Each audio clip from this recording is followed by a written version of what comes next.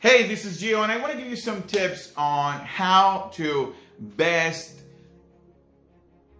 deal with the circumstances that we're all currently de- dealing with. Because I'm I'm sure that at this point there is a lot of questions, there's a lot of anxiety, and then if you don't live alone, there is a lot of chaos at home as well. And then there is, if you're living alone, then there's a lot of feeling anxiety about being lonely, and then uh, this, the money circumstances and what's going to happen next, how long is this going to last, and is this going to impact my family, and would it, would I have to actually deal with the the ultimate pain, which is having to have someone I know mm, be infected and also uh, not deal with it powerfully, right? Not not come out on the other side.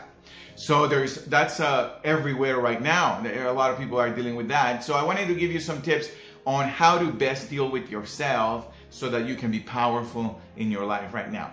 Okay, so the first thing I want you to kind of consider, I want you to like allow yourself to be a practical psychologist, if you will, about yourself and, uh, and just try it out for yourself. Don't get stuck with anything, but it will give you a, a, a huge sense of tranquility and a, and a power for you to be creative in the circumstances that you're in and in the industry that you're in. Okay, so I want you to consider that your brain needs certainty. Like people, your brain needs certainty. People need certainty. They need to know what's going to happen and how is it going to go, right? And right now, that's not happening, right? And the only certainty is that there is uncertainty. And that creates anxiety in people's lives. That creates anxiety in your life. So if you're experiencing anxiety, that's where it's coming from. It's really at the neurological level, if you will, right? That was kind of a loose term to say. But at the brain level, you are feeling uncertainty, you're feeling anxious, right? So how do you deal with that?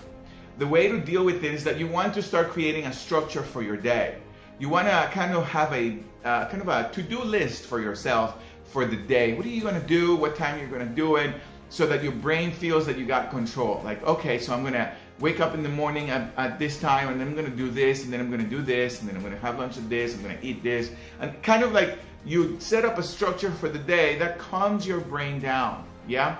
And so you want to, and also if you don't live alone, you want to encourage those that are around you to also set up a structure for their day. How would they like to, their day to look like? What would they like to do? Even if you live in a one bedroom apartment and uh, there's nothing to do, just kind of tell your brain, well, at this point I'm going to do this, and then I'm going to do this, and then I'm going to do this, I'm going to read this book. And you, you want to give some certainty to your brain. That will calm it down. And you want to encourage people to look for that structure for themselves. That will calm them down as well. Don't tell people what to do. You want to encourage them, but don't tell them what to do because if you tell them what to do, they're going to resist you, and then you create more of that chaos. So you, it's about encouraging, it's about talking about it, it's about it, it having it all make sense.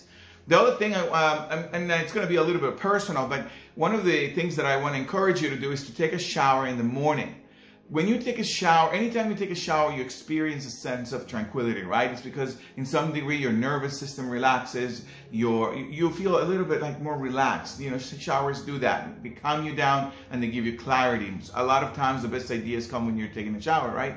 So every day in the morning you want to take a shower before you even start things going, as much as you can, right? And the other thing you want to do in the morning is that in the first half an hour of your day, don't look at the news because that was going to set the tone for the rest of your day. So don't look at the news. They're going to be there. Catch them up later. They're not good anyway. You're going to catch up later. But don't look at the news the first half an hour. Uh, if you're going to read something, read something that empower you. Read something that you like. Give something that read something. Sorry, that gives you um, the, the opportunity to create the intention for the day. You want to create an intention for your day if you can, you know, do some exercises, do something at the beginning so you get you get your endorphins going, and all of those things are working for you at the biological level, so you have a better tone for the rest of the day, and you truly want to do that at the beginning, right? Having said that, uh, the, the other thing I want to say is during the day, since you we're all at home, if you will, give people space to be with things the way they're dealing with them. Give them some space. Like um, sometimes some people are really encouraging, right? And that, that's powerful. You want to do that, but give some space for people to allow themselves to be in the space that they're in. Like if they say the wrong thing, just let them say the wrong thing, right? Kind of isolate yourself, if you will. Don't put meaning into things. This is not the time to fix your relationship. This is not the time to to work things out, if you will, in the sense of this is what I want to change, this is what I want you to change, or etc. This is not the time to change people because we're in the middle of an emotional crisis, if you will. We're not just dealing with the pandemic, but also individually with an emotional crisis. So in the middle of an emotion, never make a decision. So try not to fix your significant other, try not to fix your children, give them some space and do and do lead them though if you are uh, in a family. I hope you this makes sense. If not then uh, uh, direct message me and then we'll have a one-on-one and I'll explain that a little bit more. And then finally, uh, the other thing I wanted to say is very important how you end your day if you can, don't end your day looking at the news and then going to bed. You already know what they look like. You already saw them during the day. So in the last hour, look at something else. If you, it's best if you don't even watch TV actually, and you read you read something, you calm yourself down a little bit, take another shower, whatever you do. Um, if you can disassociate, kind of like to calm you down, right? And also limit your limit your time that you're on social media. Why? Because social media creates anxiety. And the reason why it creates anxiety is because it's always triggering dopamine at the level of the brain.